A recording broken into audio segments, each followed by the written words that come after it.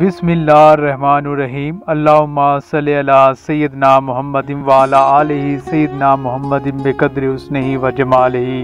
या वारिस, हक वारिस। हज़रत ख्वाजा हसन बसरी अलैह की दुआ से पूरा कुरान पाक मुकम्मल याद हो गया। आज का ये वाक़ हम आज की वीडियो में बयान करेंगे। किताब हवाला है करामात अलिया कराम वाक़ है कि हज़रत ख्वाजा हसन बसरी के ज़माने में इमाम अबू उमर रहमत कुरान मजीद पढ़ाया करते थे। एक मरतबा उनके पास कोई शख्स कुरान मजीद पढ़ने आया। आपने उसको पढ़ाने में बुखलो ख़यानत का इरतकब किया। इस जुर्म में अल्लाह ने उन्हें सारा कलाम हकीम भुला दिया। वो रोते हुए ख्वाजा हसन बसरी के पास गए और सारा मामला बयान किया। ख्वाजा हसन बसरी रहमत ने फरमाया शख्स, तू हज को रवाना हो जा, क्योंकि आजकल हज के अयाम हैं, और जो, जब तू हज से फारग हो जाए तो मस्जिद खैफ में एक बुज़ुर्ग महराब में बैठे हुए मिलेंगे। वो दूर दूर, वो दरूद वज़ाइफ में मशगूल होंगे। वो जब तक अपने मामला से फारिग ना हो जाएँ तो उनसे बात ना करना। जब वो फारिग हो जाएँ तो तुम अपनी हाजत बयान करना। उनकी दुआ से तुम्हें फिर से सारा कुरान हकीम अजबर याद हो जाएगा।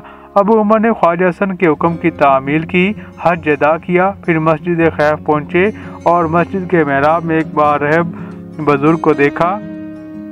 बहुत सारे लोग इसके गिरद बैठे हैं। थोड़ी देर बाद सफ़ेद पाकिजा लिबास वाला एक शख्स वहाँ आया।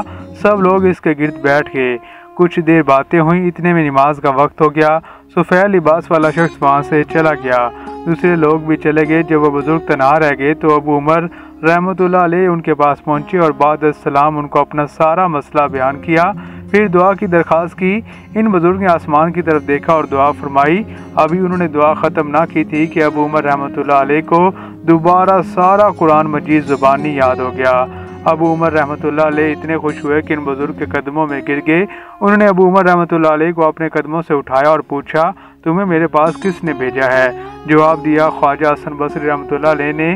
बुज़ुर्ग बोले, ख्वाजा हसन बसरी ने हमारा पर्दा फाश किया है। हम उनका राज अफशा करते हैं। ये कहकर उन्होंने अबू उमर रहमत से कहा, अभी तुमने सफ़ेद पोशाक वाले शख्स को देखा था? अर्ज़ की, जी हाँ देखा था। फरमाया, वो ख्वाजा हसन बसरी रहमत थे, जो रोज़ाना बसरे से ज़ोर की नमाज़ पढ़कर मक्का पहुँचते हैं। यहाँ हम लोग वैज़ नसीत और दर्स देते हैं और जब असर की नमाज़ का वक्त हो जाता है तो वापस बसरे चले जाते हैं। फिर फरमाया कि, हज़रत ख्वाजा हसन बसरी रहमत जिन लोगों के इमाम होंगे, उनको हमसे दुआ कराने की क्या ज़रूरत है? क्योंकि जिनसे हम खुद सीखते हैं, वो जिनके पास हो, उन्हीं का ठिकाना ही बहुत बुलंद और आला और अरफा होता है। इसी तरीके एक रवायत है कि एक गरीब और मुफलस शख्स का घोड़ा ऐबी गैब हो गया। उसने हज़रत ख्वाजा हसन बसरी से अर्ज़ किया कि आपने कीमत दरियाफ्त करके चार सौ दिनार में उसे ख़रीद लिया। रात को उस शख्स ने ख्वाब में देखा कि उसका घोड़ा दूसरे घोड़ों के साथ बहिश की चरागाह में चढ़ा है। उसने पूछा कि ये किस घो, किसके घोड़े हैं? बताया कि ये तेरे थे, मगर अब उनका मालिक हसन बसरी रहमत हैं। ख्वाब से बेदार होने पर वह शख्स हसन बसरी रहमत के पास आया और कहा कि कल वाला सौदा मनसूख करता हूँ। आप रहमत ने फरमाया, तेरे ख्वाब से मेरे खुदा ने मुझे पहले ही आगाह कर दिया है, वो वापस चला गया। अगली रात ख्वाजा हसन बसरी रहमत ने ख्वाब में देखा कि आली शान महल और दिल रे मंजर है। पूछा, इस महल का मालिक कौन है? जवाब मिला, जो शख्स बे मनसूख करे, ये उसका महल है। बेदार होने पर आपने उस आदमी को बुलाया और बेही मनसूख कर दी। इसी तरह एक हवाला है कि एक दफ़ा का वाक़ है कि एक छोटा सा काफिला हज़रत ख्वाजा हसन बसरी रहमतुल्लाह के हमरा बैतुल्ला के हज को गया। रास्ते में सारे काफिले को बहुत प्यास लगी।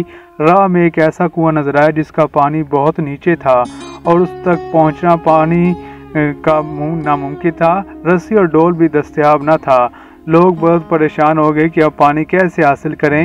हज़रत ख्वाजा हसन बसरी ने लोगों से फरमाया कि नमाज़ अदा करता हूँ, तुम लोग पानी पियो। आप नमाज़ पढ़ने में मसरूफ़ हो गए, एकदम पानी कुओं की मंडेर तक पहुँच गया और सबने खूब सैर होकर पिया। इस काफिले के कुछ लोगों के दिल में ये ख्याल पैदा हुआ कि क्यों ना पानी की किसी चीज़ में डाल लिया जाए ताकि आगे रास्ते में पानी की कमी महसूस ना हो। अभी वो लोग पानी साथ ले जाने का इंतज़ाम करने के बारे में सोच रहे थे कि पानी फ़ौर नीचे उतर गया। ख्वाजा हसन बसरी रहमत नमाज़ से फारग हुए तो लोगों से कहा, तुमने खुदा पर भरोसा ना किया और कनाज से भी दामन खाली किया। इस वजह से पानी कुएँ में उतर गया। रास्ते में एक जगह लोगों को भूख ने दोस्त आया उन्होंने ख्वाजा साहब से अपनी हाजत बयान की। ख्वाजा साहब ने एक खजूर का दरख्त देखा, जिस पर खजूरें लगी हुई थी। आपने खजूरों को हुक्म दिया कि मेरे दामन में आ जाओ। खजूरें दरख्त से आपके फैले हुए दामन में आ गिरी। आपने सब काफले वालों को खजूरें दी।